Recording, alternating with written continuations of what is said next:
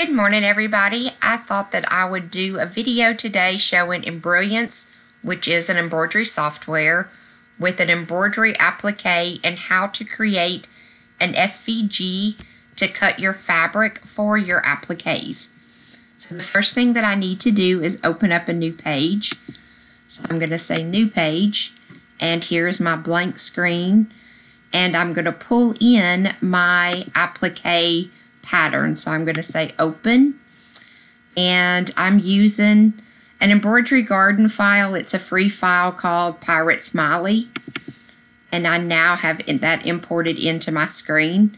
So this is an applique file and this is where I would have fabric in the hat and then fabric on the face.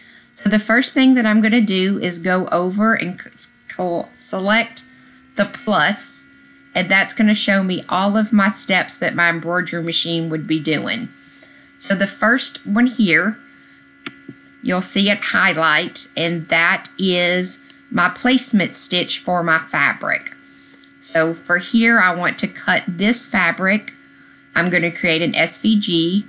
Under my properties, I'm going to select my color and double. And you'll see a little pop-up window, and I'm going to move it over just a little and I'm going to select applique and applique position. And here it asks me my inflate for cutting. I don't want it to be zero because then it would be the exact size and there wouldn't be enough for that stitch to catch my fabric. So I'm going to inflate it. I believe 1.5 is what normally comes up. I'm going to move it to 1.6 that seems to kind of be my sweet spot. And now I'm going to save this file.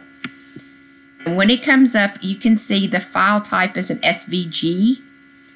And you can select other formats also, like FCM would be for your ScanNCut, Studio would be for silhouette, or either one of my machines will read SVG. So I'm going to select SVG. And I'm just going to rename this face. That way, when I'm ready to cut my face fabric, I can pull that file in. So I've renamed it and I'm going to say save. And I'm going to close this. So then I also want to cut the fabric for the hat. So I'm going to go down and you could scroll through each one and kind of see the steps. And you can kind of, I'm just showing you. So I want my placement stitch here. So again, I've got it, you can see it highlighted. I'm going to double click. I'm going to go to applique. I'm going to go to applique position and I'm going to change my inflate to 1.6 and then say save again. And this time I'm going to name it hat. And again, you can see that it's an SVG file and say save.